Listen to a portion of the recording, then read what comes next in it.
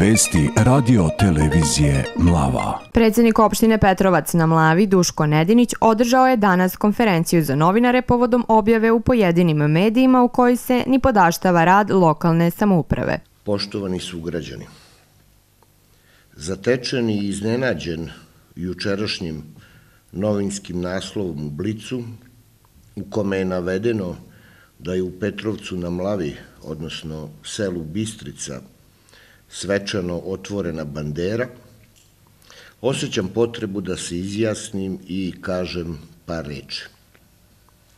Najpre, mislim da je vrlo neosetljivo i omalovažavajuće za sve meštane ovog sela pravljenje medijske senzacije i upoređivanje unapređenja energetske mreže sa otvaranjem kontejnera.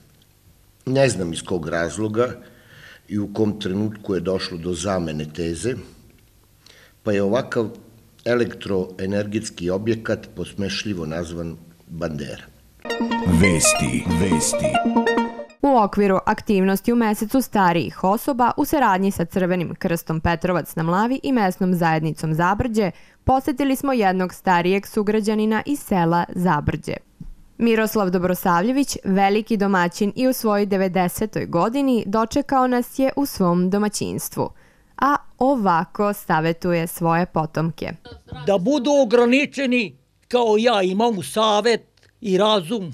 Sve ljudi koji su razumni i rade sve normalno, a prvo u jelu i piću. E, danas smo u poseti jednog od najstarijih sugrađana našeg deda Mire Miroslava Dobrosavljevića u Zabrđu. Čoveka koji živi već desetu deceniju je krenuo da živi, jednog e, uzornog domaćina, poštenog čoveka, poštene porodice, mislim, nema šta da kajem, stvarno za primjer. Danas je u obilazak Miroslava ovde u Zabrđu bio doktor Saša Andrejić, podpredsednik Crvenog krsta, kao lekar, naša predsjednica Milena Vasić i patronažna služba, tako da su izvršen jedan opšti pregled, e, meren je šećer, nivo šećera u krvi i doneli smo mu onako skroman poklon jedan u znak pažnje. Vesti, vesti. Pripadnici Ministarstva unutrašnjih poslova u Požarevcu uhapsili su ND 1992. godište iz okoline Malog Crnića i MP 1969. godište iz okoline Velikog gradišta zbog postojanja osnova sumnje da su izvršili krivično delo nedozvoljena trgovina. Vesti, vesti. Prema podacima Zavoda za javno zdravlje Požarevac, u protekla 24 časa nisu zabeleženi novi slučajevi infekcije koronavirusom u Braničevskom i Podunavskom okrugu. Vesti, vesti.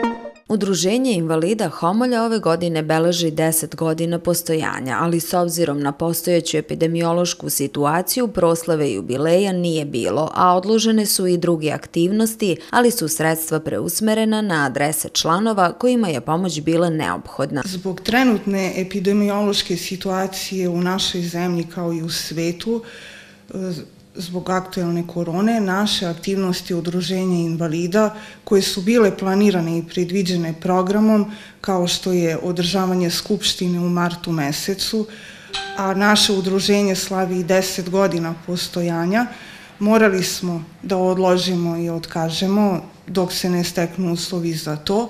Vesti, vesti.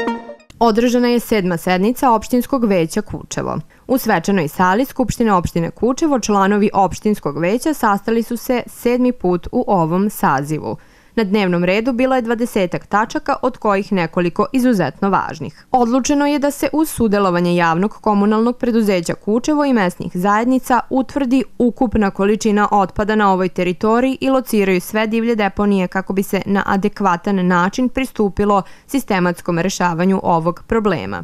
Vesti, vesti. Početkom oktobra otpočela je vakcinacija protiv sezonskog gripa. Domovima zdravlja na području Braničevskog okruga distribuirane su vakcine, a zbog pandemije izazvane koronavirusom 10% više doza nego prošle godine. Prema rečima direktorke Domu zdravlja Žagubica distribuiran je dovoljan broj vakcina. Od 1. oktobra, kao i u većini gradova i domova zdravlja u Srbiji, počela je vakcinacija protiv sezonskog gripa i u našem domu zdravlja. Mi smo iz Zavoda za javno zdravlje u Požarovcu dobili 500 doza vakcina.